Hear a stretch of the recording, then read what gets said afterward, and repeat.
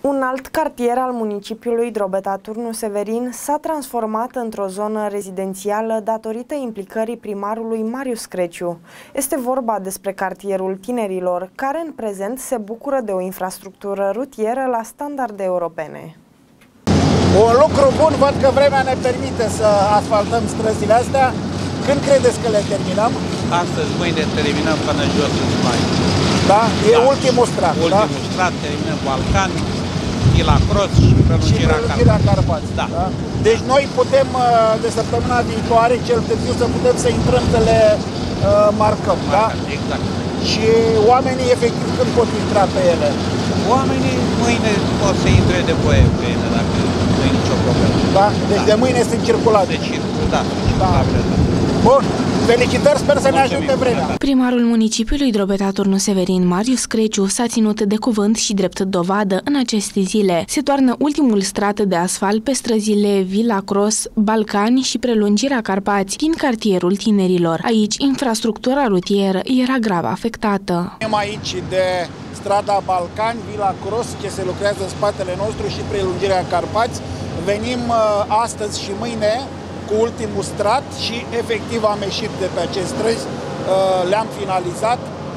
E un, uh, un pariu mai vechi de-al meu pentru că aceste străzi sunt ultimele din cartierul tinerilor. În momentul în care am venit primar, acest cartier era la pământ, cu, uh, și la propriu și la figurat, cu noroiul până la glezne. În acest moment terminăm cu cartierul tinerilor.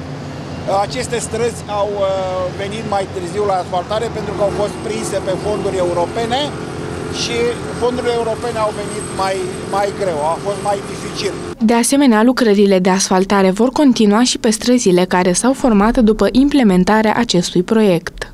mai sunt străzi, dar care s-au format după uh, anii 2017-18, când noi am făcut, uh, am făcut uh, proiectul. Urmează ca și aceste străzi să fie prinse pe un proiect uh, viitor. De fapt, sunt anumite prelungiri și străzi care s-au format după uh, momentul în care noi am depus acest uh, uh, proiect. Uh, sperăm ca săptămâna viitoare să ne permită vremea să venim și să le marcăm și putem bifa ca un capitol încheiat, un capitol important pentru primărie.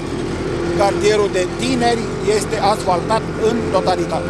Urmează indicatoarele și marcajele rutiere. Lucrări de uh, asfaltare. Se pune mixtura asfaltică BA16 pe ultimul strat. Și ce urmează? Ce mai urmează de făcut? Urmează marcatul. Deci asta vine primăria, marchează, trasează frumos toate străzile și s-a terminat lucrarea. Noi Primarul municipiului Drobeta Turnu Severin, Marius Creciu, a schimbat complet fața acestei zone, îmbunătățind nivelul de trai al cetățenilor. În prezent, cartierul tinerilor este în totalitate asfaltat.